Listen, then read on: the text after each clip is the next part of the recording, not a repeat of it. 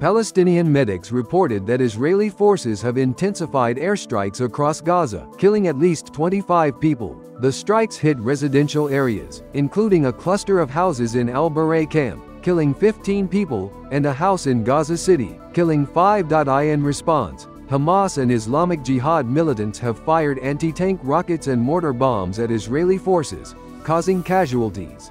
Meanwhile, Israel's military has struck dozens of military targets, including rocket launching pads. The conflict, which began on October 7, has killed at least 39,699 Palestinians. Israel is bracing for a potential wider war in the region, with Iran and Hezbollah vowing to retaliate for the assassinations of Hamas leader Ismail Haniyeh and Hezbollah commander Fuad Shukr. The conflict threatens to spiral into an all-out regional war, with Israel renewing evacuation orders to Palestinian residents in eastern Khan Yunis.